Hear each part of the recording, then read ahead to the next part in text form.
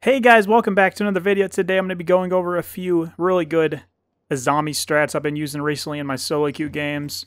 These are going to stall a lot of time for the attackers. You're going to be playing power spots. These are going to be for Chalet, which I'm on right now. That'll be the first one I go over. And then Villa, and then Kafe. So I'll be showing you three really good strats you can do. Very common maps to play, so these should help you in your games. I'm going to be playing a lot more Azami in my videos from now on, I think. She has a really good solo queue operator, one of the best. Also, if you were wondering, I did set up the uh, site with all the reinforcements and stuff. You can set it up differently, but this is just the default setup that I like using, and it's pretty common stuff, honestly. So another just bonus tip before we get in, break the glass off the windows. I've already done it, as you can see. When you break the glass off the windows, you can hear when they're rappelling up easier. Same with the uh, library balcony. I've already done it for these windows. At least do it for one of them. Just a thing that a lot of people don't do, honestly. But you're going to be playing right here in the mezzanine. This is going to be a very huge power spot because attackers like to rappel up here, hold angles on it. They like to go on the actual balcony itself. They like to attack library, so you can hold library from here behind this reinforcement. Obviously, you want to reinforce the single wall that I've done. Make head holes here. You can actually get a pixel on the window right here. I've gotten a few one taps just, just holding that angle. You could also reinforce the side if you want, but this one's better because now you can play behind this thing and be safe from the window. The only way they can really get you out of here is if you don't have like ADSs or Wamais or anything, and they grenade you from the window, which is decently common in the super high levels of play, but not really in ranked. I don't get real, like grenaded from that as much, unless you're playing like a five stack. That's really good.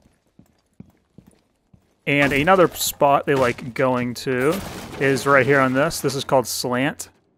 The attackers will just go here and hold an angle from the roof. They can see all the way in here. Very good angle as well. Just a bonus tip if you're on attack, you can hold that. So this cuts that off. That's why your first Azami, you're going to want to put that right here. And now you're safe from that angle. You don't have to worry about that. I'm going to be showing you three barrier spots. And of course, you have five barriers total so the uh, last two are just going to be to replace any breaks. So like if this one gets broken, then put it there. The next one, this is going to be like the main one for the library hold. Put it right here, like that. I would only put this here if you know they're pushing from library side, which is pretty common. They're usually going to. But if you know they're not taking this and they're going for like a solar push, don't even put this Azami here. That's why I put this one first. Usually they're always going to be on this window regardless of where they take. At least on the balcony out there. So this one's going to be better. But if you know they're not taking that at all, I would not put the library one first. I would put that one last, honestly, like right when they're getting up and breaking the window. You can just throw it on there. And the uh, last barrier is going to go right here on the balcony. I'm going to put anywhere on this railing in the middle. That way you can just play out here on the balcony a little bit more safely when you're behind this one. You don't have to worry about getting like wall bang from this window. And you can uh, peek anybody that's trying to push from downstairs. Come with some really good angles on that, like this. Or like this. And they don't know which side you're going to be peeking. And again, like I said, they can break these from the windows, obviously. That's why you can just throw another if it gets broken. Say this gets destroyed. I don't know why I'm showing you. Obviously, you know in the Azami breaks. You can just throw another one like that. You can also do it very quickly. You can just come around the corner like that. And throw it like that. And there you go. You're set. And you can just come around here, peek this side. Just get some quick peeks in. Just watch out for grenades, like I said. That's why I play a little bit farther back on it. But you can get up and get aggressive if you know they don't have grenades or something. Shoot their drones, just waste all of their time, and you will be set. This is a really good hold to do. They could also go for the hard breach on this, so that's really good for the Azami. You can go on the side and just shoot it off, wherever they put it. And again, you can just swing the window here. Just try to waste as much time on the attack as possible. Also, if you see at the start of the round, if they're not even pushing this, they're just basically countering the strat.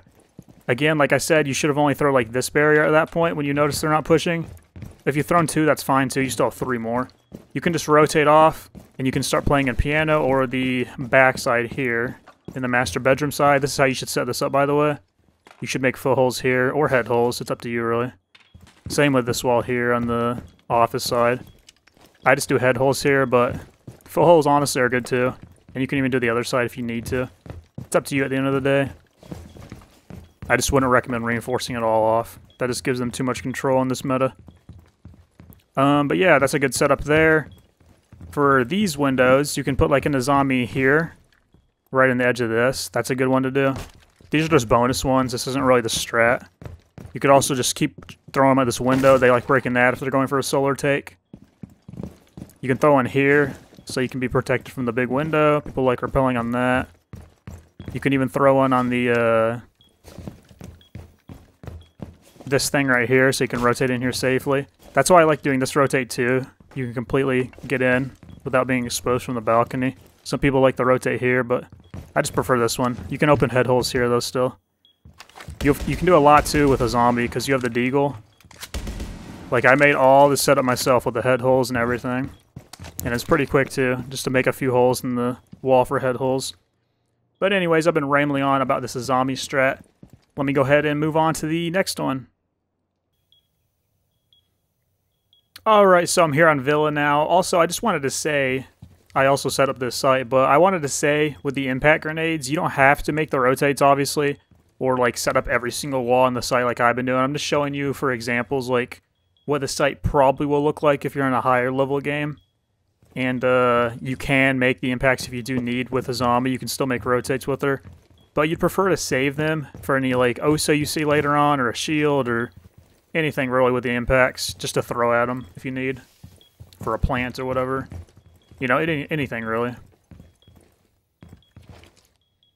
But yeah, you want head holes right here on this. This is very important. You can make these with the deagle like I did. Just ignore how I'm out of ammo. I was shooting a little bit too much in the prep phase. Don't worry about it. So first the Azami right here, you want to put this one first. They're usually always going to attack on the balcony, so this will protect you from the uh, doorway so you can peek. Just like that. You can peek either side of it. This is going to be a really good one. You can replace this multiple times. You can probably use three on this alone if you want to. Obviously, you have this window here. I would shoot the glass. You don't need to. You can probably hear them on the balcony still, but now you can hear them right when they try to break this, and if they do, just throw in a Azami here too. And just protect yourself with that. And just keep playing aggressive on that door. But the other Azami spots, I like doing one right on top of the door here, the lowest spot, just like that. This will get you a really tight angle here, and that's very good to have. And then you can throw one on the end right here too. I think it's somewhere around like here. Yeah, that's good there. And now you can get a really tight angle deep into that angle there, and from the left side of the door and the right side of the door. And they're never going to shoot you off that. And you're protected from the window, obviously, to play in this spot. And you can even peek this if they're coming from study balcony instead. This is Azami strat's really good for either push that they do. If they're taking, like, full map control on the master side, that'll be good for that. And if they're just doing the default study take, it'll be good for that.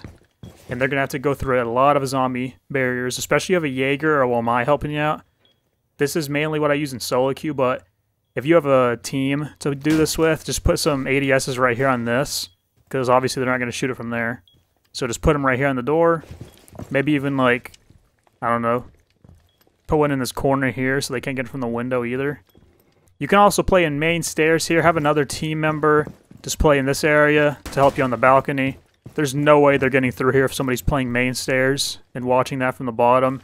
And then you're having your uh, Azami play behind these barriers here in this aviator door power spot. And on top of all that, they have to worry about the head holes here. Like imagine if you have like a Warden or a Thorn 1.5 peeking this and just swinging over and over. It's so good. And you can even have a guy with a C4 come up here to the Azami, like right here close. I like doing this a lot. And just throw in a C4 out there. I love doing that. But yeah, these are going to get you a lot of free kills, trust me. It's just such a nasty angle to peek, and they have to go right up to the door if they want to get rid of this one. They have to go right up next to it, like right here, or right here, and they have to worry about all the angles in the site. Like, say, if you're just prone playing behind this couch and then go up to the right side, you're going to get a free kill. And if you're playing on this side, you're going to get a free kill too. Like, it's so hard to get rid of this strat. And for what they see, if they're at the end of this hall, you've seen what I was doing there. They see, like, that. Like that'll be what they see. That'll take them so long, and they're usually going to be standing up like this when they come around the corner, like that. And if they crouch down, they're not going to see you right away coming from this side, and you're going to see them a lot quicker. It's just a lot easier fight for you. And obviously, you don't have to use this one until they actually break the window and threaten this. So if they don't, you can keep that one in pocket. You'll still have two left over to replace on that, on this, on this again, on that again, like whatever you need, really. The Azami's so good. So, so good if you use it right. And it's pretty hard to use it wrong, honestly. And just another tip, if they end up pushing the backside, you can even save your Azamis here and throw them, like, right up here, like that, so they can't wallbang through this, and they can only go foot level. And if they have to go foot level, you can just hold the angle on them, and they're going to have to prone peek into it, and that's going to be impossible for them to win. That's why you want to put footholds here. I would have made more if I have more deagle ammo, but I used too much on the uh, one holes on accident. I did not have to either. You can make those without using all of your ammo. But yeah, if you have uh, footholds here, it's going to be a lot harder for the attackers to push this. This is just default stuff at the higher levels, but very good stuff. I see a lot of players either reinforce both these off in my games for some reason, or just reinforce none of them.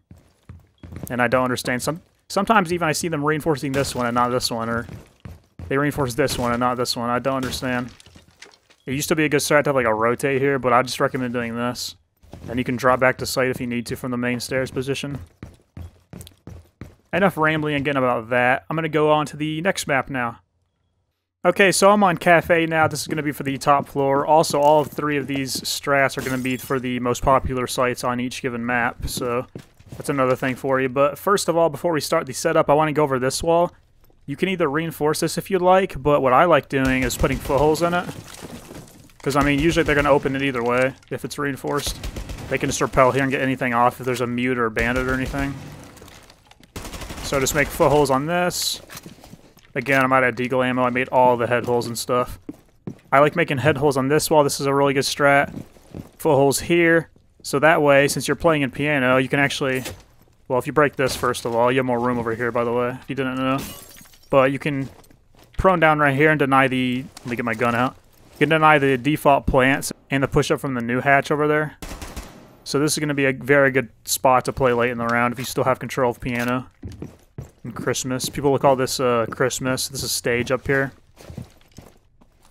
Just like that, and you can see your holes a little bit. Maybe get a lucky wall bang off that. Those are good holes to watch. Just be careful. They can obviously see you're holding that. It's very easy to see on that surface. So first, the Azami spot, though. I always do this one first.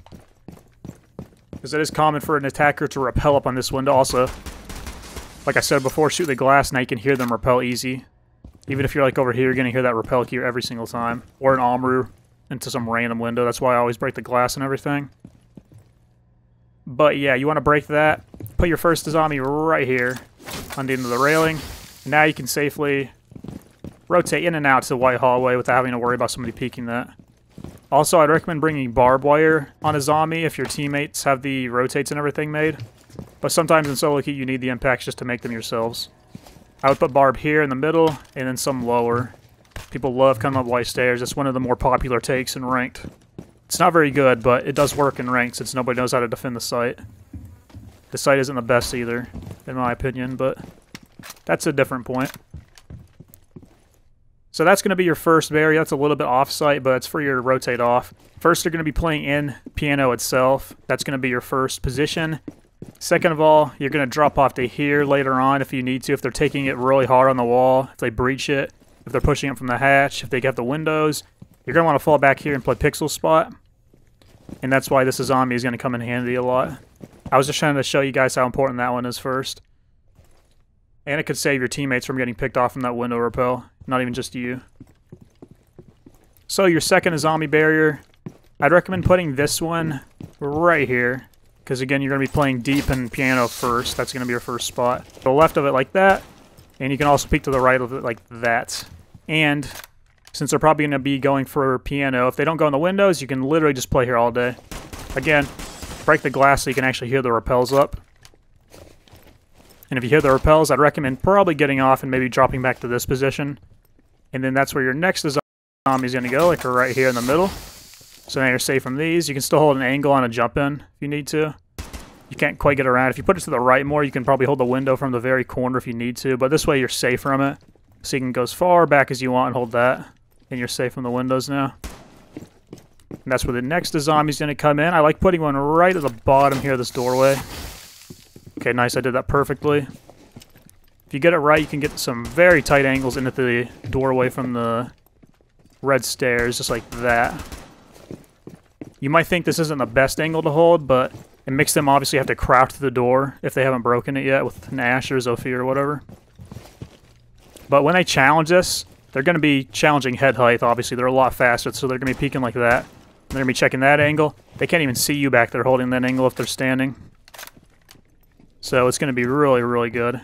You can see all my shots were going like right here. So you're just going to destroy them every time they swing this. It's going to be a free kill for you. They have to go this deep to see where you are.